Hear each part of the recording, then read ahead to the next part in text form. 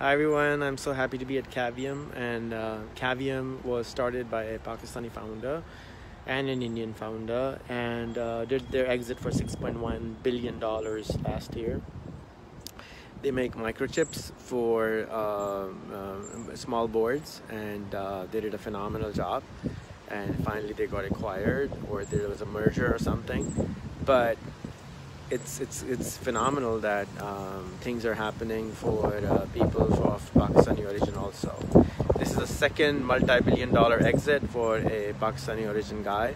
And I wish luck wish good luck to all the other guys who want to make it make their dream happen uh, in the world. So and it won't happen unless you try it right? So let's do it. And luck means labor under correct knowledge improve your knowledge improve your information improve your network. Everything can happen. See you in the next video